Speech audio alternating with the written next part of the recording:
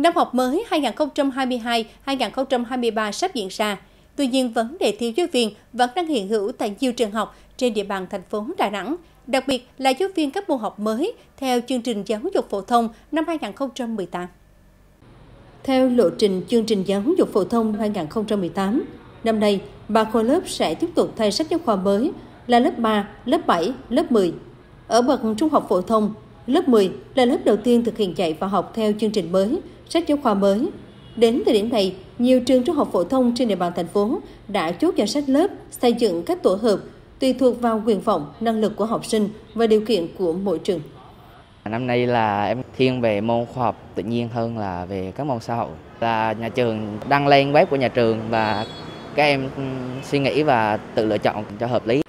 Trong số các môn học tự chọn của năm nay, lần đầu tiên học sinh lớp 10 được học nghệ thuật và trong nghệ thuật có âm nhạc và mỹ thuật. Đây chính là việc đáp ứng tối đa phát triển năng lực phẩm chất của từng cá nhân. Thế nhưng đến giờ này, việc không có giáo viên cho các bộ môn này là tình trạng chung của nhiều trường trung học phổ thông trên địa bàn thành phố. À, về các nhóm à, mỹ thuật và mỹ thuật và à, nhóm công nghệ và mỹ thuật thì nhà trường chỉ có đủ điều kiện cho hai bộ môn là tinh học và công nghệ, còn các môn à, môn mỹ thuật thì nhà trường không có giáo viên. Hiện nay, các trường trung học phổ thông trên địa bàn thành phố đang nỗ lực đảm bảo dạy theo chương trình mới.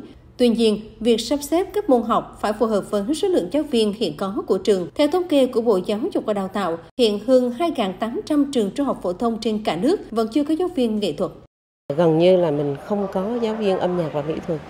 Cho nên trong các môn lựa chọn bắt buộc thì trong kế hoạch mình cũng đã nói rất rõ đối với năm học này vì chưa có giáo viên. Cho nên là tạm thời nhà trường chưa đưa hai môn đó là âm nhạc và mỹ thuật vào trong các cái môn lựa chọn bắt buộc. Và mình chỉ à, chọn trong cái nhóm môn công nghệ à, nghệ thuật đó thì mình chỉ chọn nghệ à, công nghệ thôi. Còn nghệ thuật thì chắc để thời gian sau nữa nếu như có sự điều chỉnh về đội ngũ.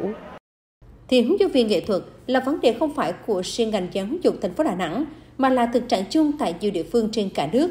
Việc đưa âm nhạc và mỹ thuật, các môn năng khiếu vào chương trình học trung học phổ thông là cần thiết để đáp ứng tối đa phát triển năng lực, phẩm chất của người học. Tuy nhiên, cần có lộ trình đào tạo, tuyển dụng cụ thể cũng như nâng cao công tác quy hoạch dự báo nhu cầu về giáo viên của các địa phương.